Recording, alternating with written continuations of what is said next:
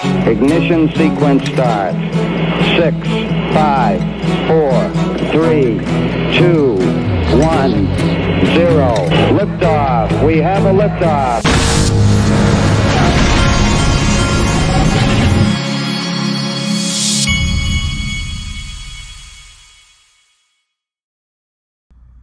Hey, everybody, this is the Digital Asset Investor, and watch this. This is hyperinflation at its finest. This is 40,000 Argentina pesos right here. Back in 2018, this was worth $2,000 American.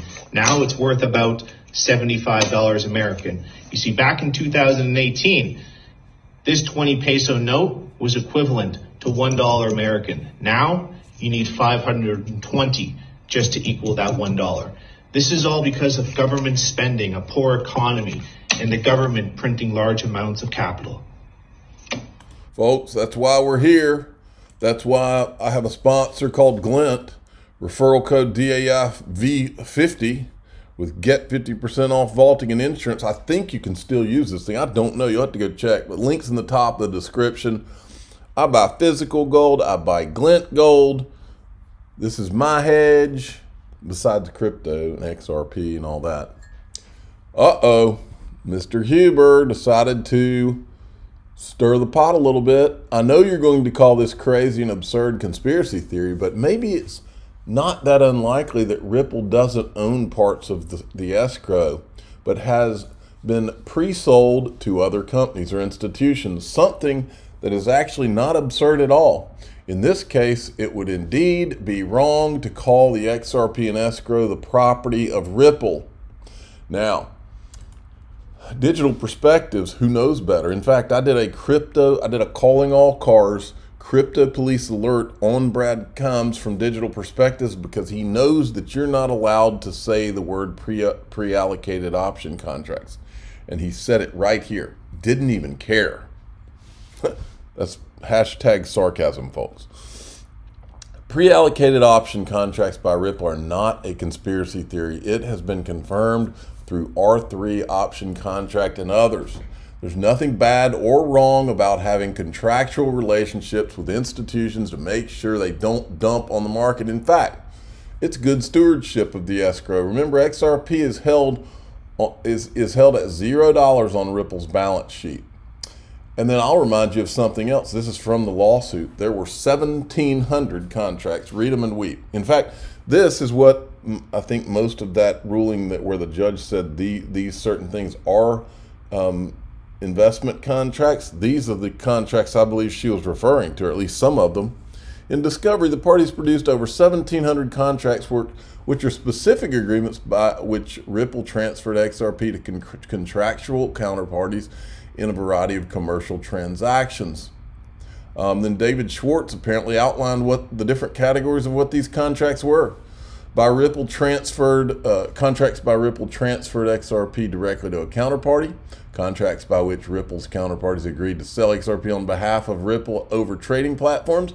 Three, contracts by Ripple paid for various counterparty services in XRP provided by Ripple but four, miscellaneous contracts that do not fall into these three categories. So it's not absurd at all to think that there's pre allocated uh, XRP. That's business. It's what you and I would probably do. In fact, Greg Kidd was another example of that. He had an option on a billion XRP. And if you if R3 and Greg Kidd were smart enough to do it, don't you think that other financial institutions and other people that were involved and met with Ripple and all that they would those aren't going to be the, the only two smart people great or people and companies Greg Kidd and R3 on the planet that got this. Now, speaking of R3, here is uh, this is Richard Gendal. He's the CTO of R3. He's old school. Watch this what we begin to see is the emergence of these networks of networks, these openly connected networks, working together to solve a, um, an end-to-end business problem without, and this is the important point, without them all having to be deployed on the same network with the same rules on the same technology, because in the regulated sphere, that just isn't feasible.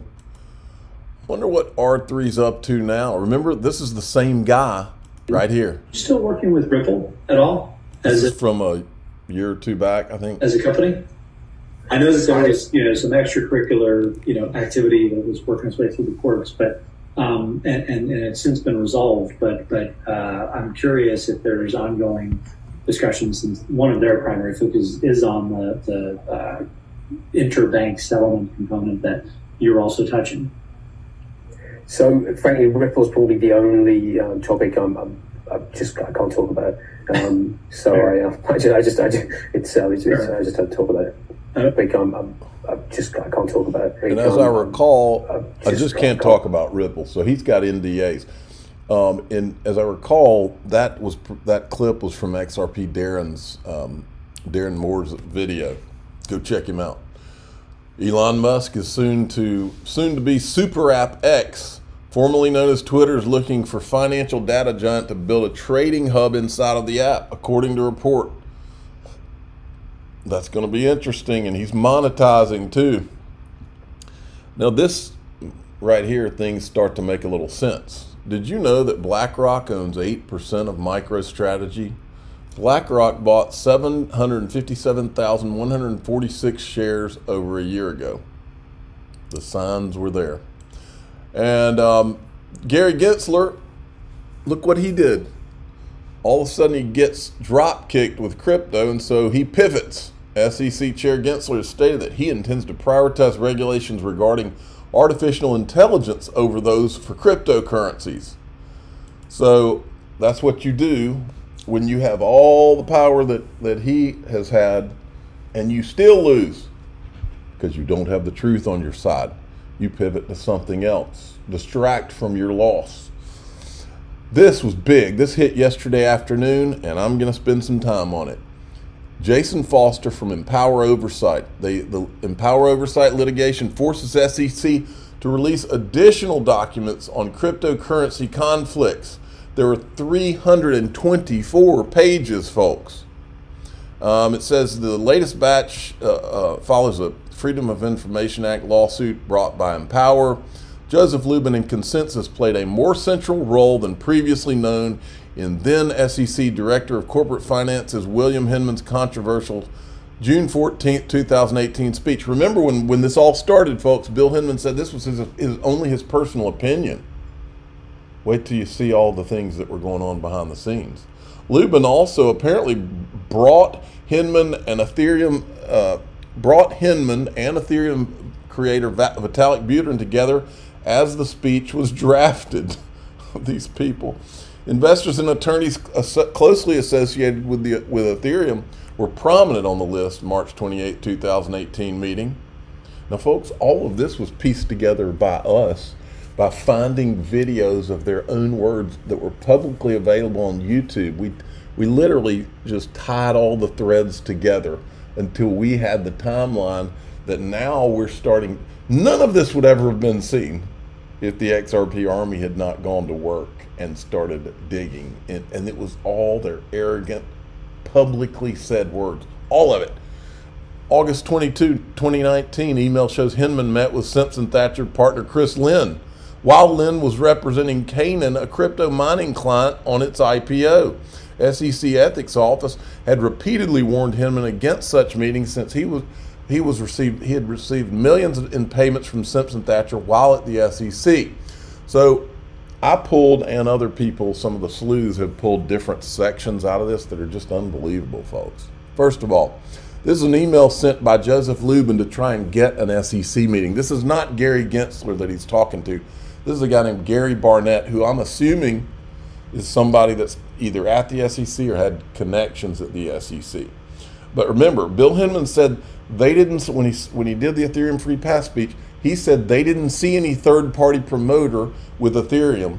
The third party promoter literally sent this email to try and get the meeting. This is from Joseph Lubin to this Gary Barnett. He's basically trying to get Gary Barnett to hook him up with the SEC. It was a pleasure seeing you in Singapore and exciting that you remain interested in, in our fledgling ecosystem. As we discussed, we remain very interested in engaging in discussions with regulators around the world, and probably most important body is the SEC. While we remain confident in our prudent approach to token launches, we see he he was la- launching tokens even then We're eager to edu- educate regarding the benefits of tokenization and eager for our ecosystem to be able to operate in the United States with, with uh, greatly reduced uncertainty. We've begun to gather interested parties to help jointly define best practices for token launches. So he goes on and on and on here. This eventually is what leads to them getting a meeting. Right here, um, now we know. um, all right, let me let me see where these are the people that were involved in the um, March 28th, 2018 meeting. This was the presentation. Remember where Nancy Wojtas said that Brad Burnham gave an awesome presentation? We played that video several times. Well, these now we know the people that were in the meeting. Two Andreessen Horowitz guys, a bunch of Perkins Coie attorneys, um, two or three or four Union Square Ventures people. And don't forget while you're looking at this, folks, remember Andreessen Horowitz was an investor in Ripple. And I'm at, I actually asked Ripple um, here. I said, just realize I've never asked Ripple, did Andreessen Horowitz or Scott Kupor, who's one of their big dogs, did they at least give you guys at Ripple a heads up, since they're an investor in Ripple, that they were about to have closed door meetings with the SEC to try to get Ethereum a free pass? At the time, you were still in purgatory with XRP. Remember, Brad Garlinghouse and David Schwartz met with, with the SEC. And Jay Clayton and Bill Hinman basically steered them away from any discussions on XRP and said, let's just talk about your business. That's really not appropriate for here. And then Bill Hinman came back, literally left the SEC and came back to make sure the Ripple lawsuit was filed. Okay? So it's a great question to ask Did these VC people that were literally investors in Ripple, did they literally do this and not even give Ripple a heads up? Is this how dirty this is? Um, now, um, then I asked, this, this, is, this is from, this is unbelievable, folks. This is from Bill Hinman after his meeting with, uh, his first meeting with Joseph Lubin He's kissing his butt, okay? He says, Dear Joe, I greatly enjoyed meeting with you and your team at our offices a couple of months ago. I was wondering if we could have a brief call in order to discuss the possibility of another meeting with you. Can we do this, Joe? Please? If this is something that could be possible, we can work with your assistant to set up a time and a place. Is it possible, Joe? Can we meet with you, please? and this is I said to Brad Garlinghouse, as I recall, Jay Clayton and Bill Hinman didn't think it was appropriate to talk about XRP in your meetings, and just wanted to focus on your business. What you what you didn't have uh, you didn't have them emailing you like this to have a follow up meeting to discuss tokens. I mean, it's unbelievable. And if you think that's it, keep watching. Now, Jason Foster, after this document dump, he's he's saying what is the SEC's Office of Inspector General doing about this?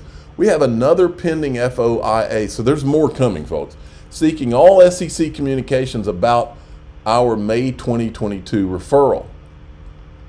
So um, they're they're asking. Uh, you already produced enough evidence. This is from John Deaton's law firm. Public to see that Hinman not only ignored the general general counsel on his ETH speech, he ignored ethics office's bar under the criminal financial conflict with Simpson Thacher.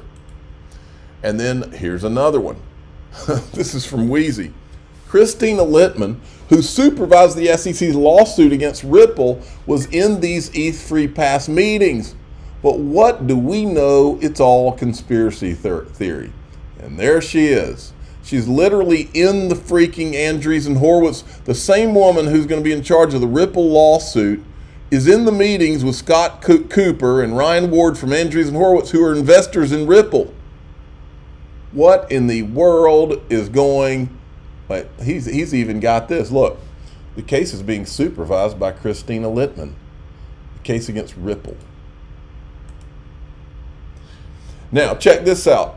As if it could get even more absurd, it couldn't get any more absurd. Look at this. This is from an SEC attorney, okay, talking about how ConsenSys uh, is, is going to come in and talk and all that. And this is from an SEC attorney to Bill Hinman saying, could we provide a list of questions or at least a list of topics in advance to Vitalik Buterin?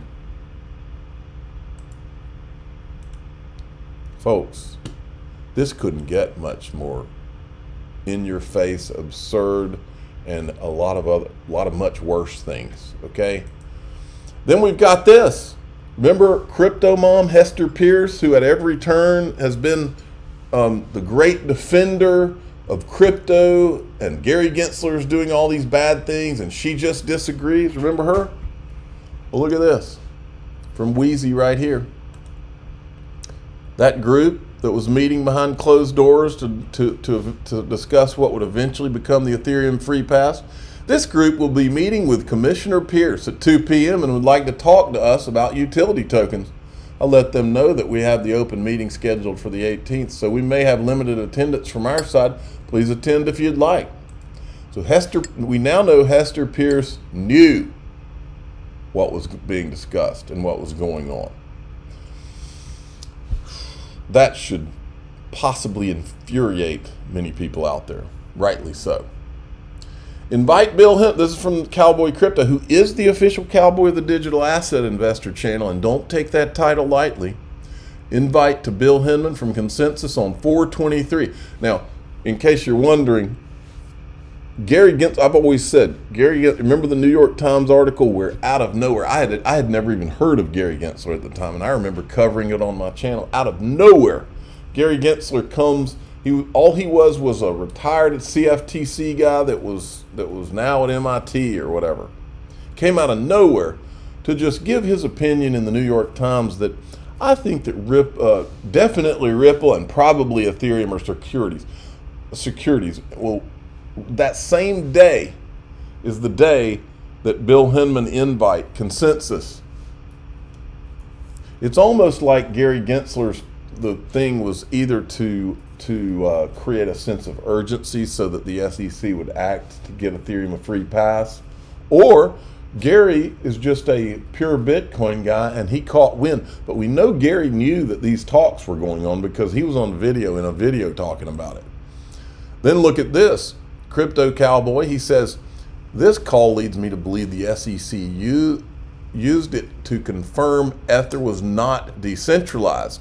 If you look at the, these are the questions for the call. These are the questions the SEC put together for the call, which leads me to believe that they knew exactly that Ethereum, Ethereum was a security and all this stuff.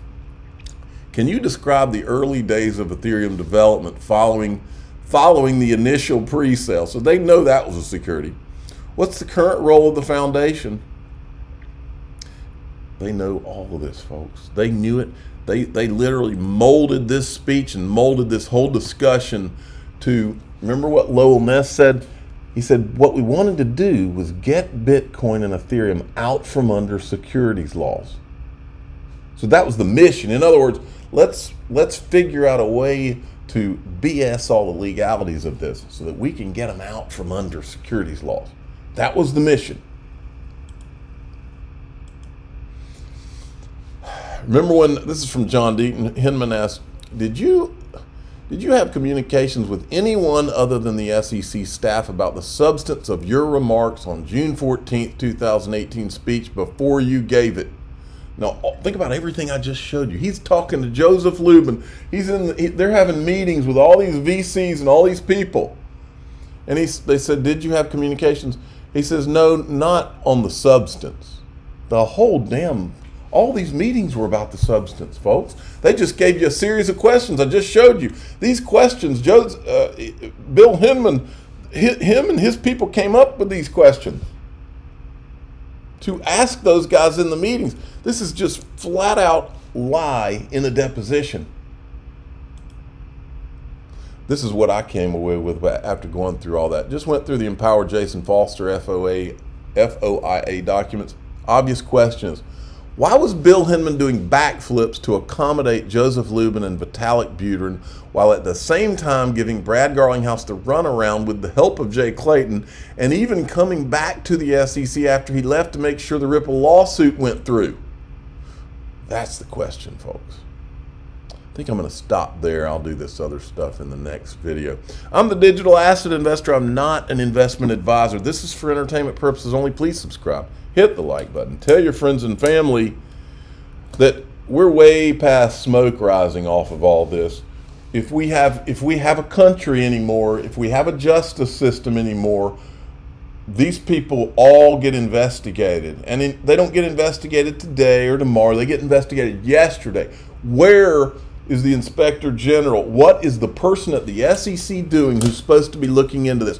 Where's Congress? Where's Warren Davidson? Where's Patrick McHenry? Where where is is uh, Tom Emmer? Where is everybody investigating this? This is obvious what's going on here. This has to be cleaned up. The trash has to be taken out. It's the only way for anybody to have any faith in our government and, all, and these agencies that these people have squandered the faith in. Thanks for listening.